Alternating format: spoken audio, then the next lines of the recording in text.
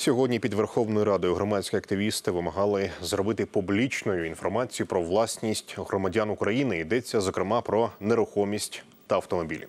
У разі ухвалення такого законопроєкту будь-хто зможе побачити в інтернеті, де живе та на чому пересувається той чи інший політик та чиновник.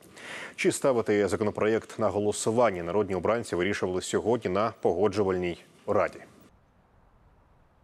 Громадські активісти вимагають зробити відкритими реєстри власності. Законопроект стосується усіх громадян України. Фактично, кожен зможе дізнатися, якими квартирами, земельними ділянками та автомобілями володіє та чи інша особа.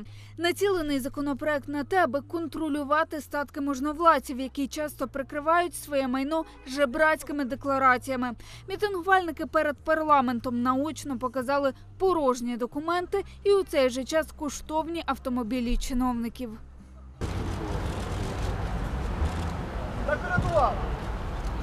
Нічого нема в декларації. Насправді накрадував собі і на Мерседес, і на маленький будинок. Якщо закон таки приймуть, заховати свої статки у родичів вже не вийде. Активісти обіцяють перевіряти майно усіх наближених до чиновників, суддів чи прокурорів. При цьому вивчатимуть майно не лише дітей та бабусь, а й коханок, і обіцяють писати скарги в прокуратуру. Всіх їх можна перевірити в реєстрі. Це перше. Друге. Наприклад, чиновник живе в квартирі на Печерську, а квартира зареєстрована на якусь бабцю або на офшорну компанію. Ми заходимо в реєстр і дивимося, хто володіє цією квартирою, що вже він зареєстрував на цю бабцю свою квартиру. То він на неї ж зареєстрував і все інше. Потім ми пишемо в прокуратуру. За персональні дані хвилюватися не слід. Вони відкриватися не будуть. В реєстрі не вказуватиметься точна адреса квартири чи будинку або номерні знаки автомобіля. А от відповідальність за недостовірні відомості у декларації досить жорстка. Це два роки в'язниці.